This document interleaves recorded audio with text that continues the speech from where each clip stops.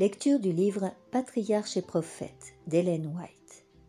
Chapitre 10 La tour de Babel. Le déluge avait purifié la terre de sa corruption morale.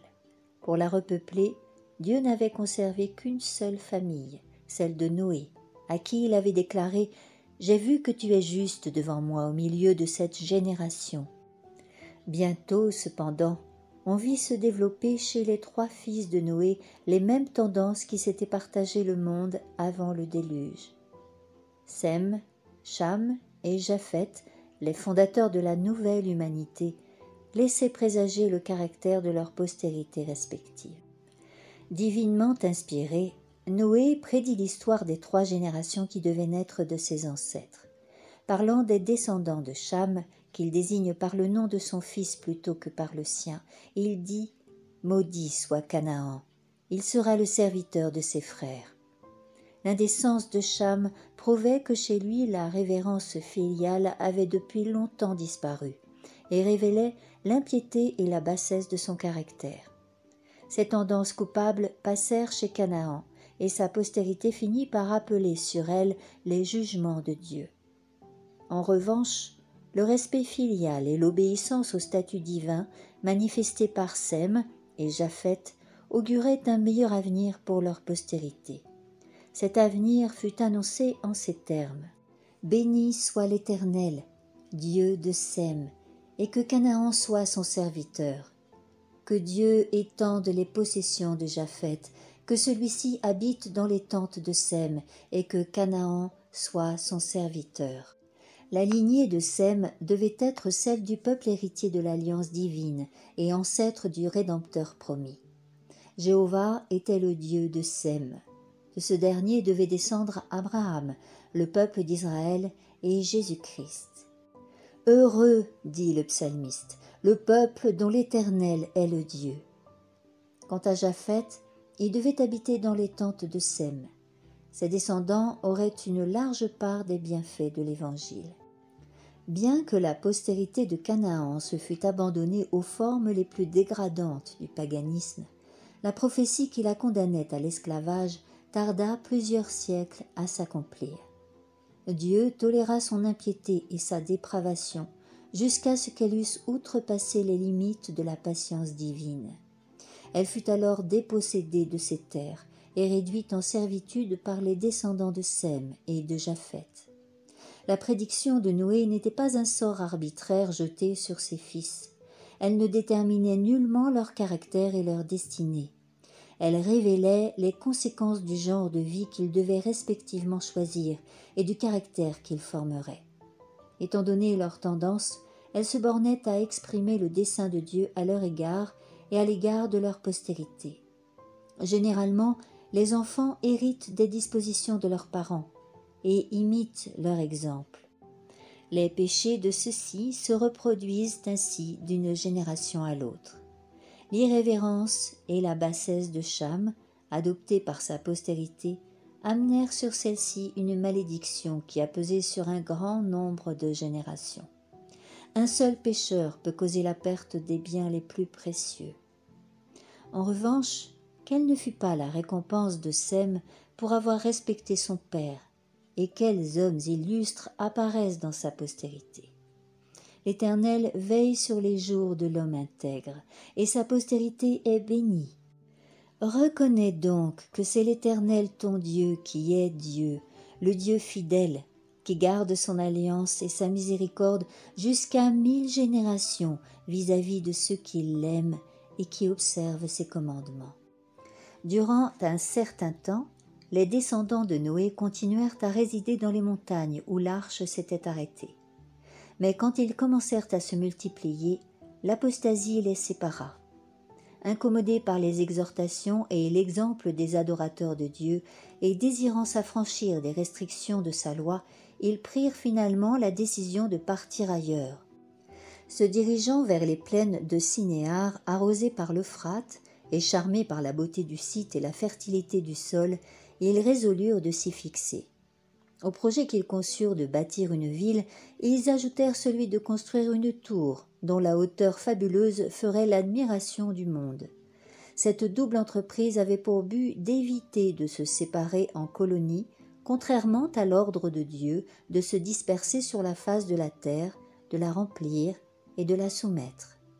Les fondateurs de Babel entendaient se maintenir en une seule communauté et fonder une monarchie qui embrasserait un jour la terre tout entière. Leur cité deviendrait ainsi la métropole d'un empire universel. Sa gloire devait être la merveille du monde, et les noms de ses fondateurs passeraient à la postérité.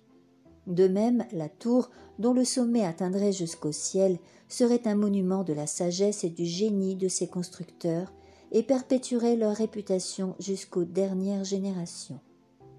Les habitants de la plaine de Sinéar ne croyaient pas à la promesse divine annonçant qu'on ne verrait plus de déluge.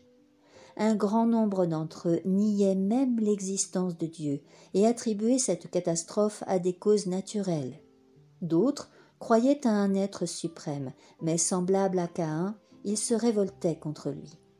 En donnant à cette construction une hauteur plus élevée que la limite atteinte par la récente catastrophe, ils pensaient se mettre à l'abri de tout danger. En outre, la grandeur de la tour allait leur permettre de monter jusqu'à la région des nuages, où ils espéraient découvrir les causes du cataclysme. En un mot, toute cette entreprise avait pour but de satisfaire l'orgueil de ses initiateurs et d'éteindre la connaissance de Dieu chez les générations futures. L'œuvre étant presque achevée, les constructeurs s'y réservèrent des demeures particulières. Des salles magnifiquement meublés et décorés, étaient affectés aux idoles. On se réjouissait du succès de l'entreprise, et on glorifiait les dieux d'or et d'argent. Le maître du ciel et de la terre était méprisé. Soudain, l'ouvrage qui était en si bonne voie s'arrêta. Que s'était-il passé? Des anges avaient été envoyés pour y mettre fin. La tour avait atteint une hauteur prodigieuse. Comme il était impossible aux ouvriers du sommet de communiquer avec ceux qui étaient à la base, on avait posté à divers endroits des hommes qui se transmettaient les demandes de matériaux ou d'autres messages. Or, pendant que ces messages passaient ainsi d'un poste à l'autre, leur langage fut confondu, de sorte que les matériaux commandés n'étaient pas ce qu'il fallait, et que les ordres passés par la chaîne étaient, à l'arrivée, tout autres qu'au départ la confusion et la stupeur furent générales. L'entente et la coopération n'étant plus possibles, le travail fut suspendu. Incapables de se rendre compte des étranges malentendus qui se produisaient, les constructeurs, hors d'eux-mêmes, se mirent à s'accabler de reproches. L'entreprise fut noyée dans la discorde et le sang. Pour marquer la désapprobation divine, la foudre tomba sur la partie supérieure de la tour et la précipita sur le sol. Alors on comprit qu'il y a dans le ciel un Dieu qui règne sur la terre. Jusqu'à ce moment-là, les hommes n'avaient parlé qu'une seule langue. Désormais, ceux qui comprenaient le même idiome s'unirent par groupes et s'en allèrent, les uns dans une direction les autres dans une autre. Ainsi, l'Éternel les dispersa de là sur toute la terre et le dessein de Dieu fut atteint par le moyen même employé par les hommes pour en empêcher la réalisation. Mais à quel prix pour cette génération? Le plan divin voulait qu'en allant fonder des nations sur toute la surface de la terre, les hommes emportent avec eux la connaissance de sa volonté, afin que la lumière de la vérité passe, pure et claire, d'une génération à l'autre. Noé le fidèle prédicateur de la justice vécut trois cent cinquante ans après le déluge, et Sem cinq cents, période durant laquelle leurs descendants furent, par eux, instruits des exigences de Dieu et de ses voies envers leur Père. En revanche, les hommes de Babel, peu désireux d'entendre des vérités qui leur étaient désagréables et de conserver la connaissance de Dieu, furent encore empêchés par la confusion des langues, d'avoir accès à ceux qui auraient pu leur communiquer la lumière. Les bâtisseurs de Babel avaient murmuré contre Dieu. Au lieu de se souvenir avec gratitude de sa miséricorde envers Adam et son alliance de grâce avec Noé, ils s'étaient plaints de sa vérité envers le couple primitif chassé de l'Éden et envers le monde antédiluvien détruit par le déluge.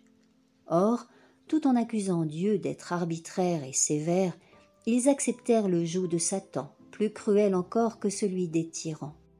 Pour couvrir de mépris le sacrifice sanglant préfigurant la mort du Sauveur et profitant des ténèbres dans lesquelles l'idolâtrie avait plongé l'humanité, l'ange rebelle poussa les hommes à contrefaire ces sacrifices et à immoler leurs propres enfants sur les autels de leur Dieu. Oubliant les attributs du Créateur, ils en vinrent à remplacer sa justice, sa puissance et son amour par l'oppression, la violence et une atroce inhumanité. Parmi les gens de Babel qui avaient décidé d'établir un gouvernement indépendant du Très-Haut, se trouvaient quelques hommes craignant Dieu qui, trompés par les intentions des impies, avaient été entraînés dans leur entreprise. Par égard pour eux, et afin de donner aux meneurs le temps de révéler leur vrai caractère, le Seigneur avait tardé à exécuter ses jugements. Reconnaissant leur erreur, ces fils de Dieu s'efforcèrent de détourner les apostats de leurs projets. Mais ils se heurtèrent à une volonté inébranlable de défier le Dieu du ciel. Si l'œuvre de ces derniers n'avait été mise en échec, si leur confédération, visant à l'organisation d'un empire où l'on n'aurait fait à Dieu ni place ni honneur, n'avait été dissoute, l'humanité aurait été démoralisée dès son enfance. Un pouvoir redoutable eût extirpé la paix, le bonheur et la sécurité de dessus la terre. Au divin statut, saints, justes et bons, les hommes auraient substitué l'égoïsme et la cruauté. Mais ceux qui craignaient Dieu l'avaient supplié d'intervenir, et l'Éternel était descendu pour voir la ville et la tour qu'avaient bâtie les fils des hommes. Par pitié pour le monde, il avait confondu leur langage et mis fin à leur aventure en abattant le monument de leur insolence. Dieu supporte longtemps la perversité des hommes. Il leur donne le temps de se convertir, tout en prenant note de leurs plans pour résister à sa loi. De temps à autre, la main invisible qui tient le sceptre de l'univers se découvre pour mettre un frein à l'iniquité et montrer avec une clarté aveuglante que Dieu est le Créateur de l'univers, l'être infini en sagesse, en amour et en vérité, le suprême dominateur des cieux et de la terre, celui qu'on ne brave pas impunément. Les projets des constructeurs de Babel s'effondrèrent dans la défaite et la honte. Le monument de leur orgueil devint celui de leur folie. Néanmoins, les hommes continuèrent, à l'exemple de Satan dans le ciel et de Caïn sur la terre, à marcher dans la même voie, à agir à leur guise et à rejeter la loi de Dieu. Il existe encore aujourd'hui des bâtisseurs de tours, les mécréants échafaudant leurs théories sur de prétendues déductions de la science et rejetant la parole révélée. En prononçant un jugement sur le gouvernement moral de Dieu, ils méprisent sa loi et prônent la suffisance de la raison humaine. Puis, parce que la sentence prononcée contre les mauvaises actions n'est pas exécutée sur le champ, le cœur des hommes est rempli du désir de faire le mal.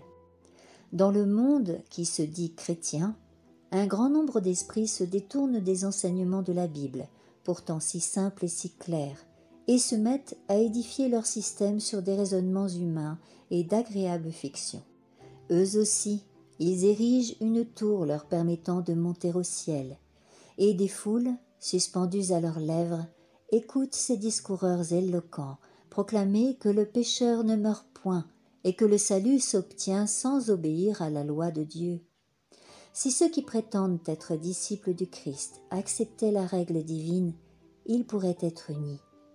Mais aussi longtemps que la sagesse humaine sera placée au-dessus de la parole inspirée, il y aura des divisions et des dissensions entre croyants. La confusion actuelle, créée par les confessions de foi divergentes, des sectes qui divisent la chrétienté, est bien caractérisée par le terme Babylone, confusion, appliquée par la prophétie aux églises mondanisées des derniers jours. Constructeurs de tours aussi, ceux qui se font un ciel de leur richesse et de leur pouvoir, et se vantent méchamment de leur violence, leurs paroles sont hautaines, foulant aux pieds les droits de l'homme, ils ne tiennent aucun compte de l'autorité divine. Les orgueilleux peuvent, pendant un temps, jouir d'une grande influence et voir réussir leurs entreprises, mais c'est pour ne récolter à la fin que revers et dégoût. Le temps des règlements de compte est à la porte. Le Très-Haut va bientôt descendre pour voir ce que les hommes ont édifié. Sa puissance souveraine va se manifester, et les ouvrages de l'orgueil humain seront anéantis. L'Éternel regarde du haut des cieux. Il voit tous les enfants des hommes. Du lieu de sa demeure, il observe tous les habitants de la terre. L'Éternel déjoue les desseins des nations.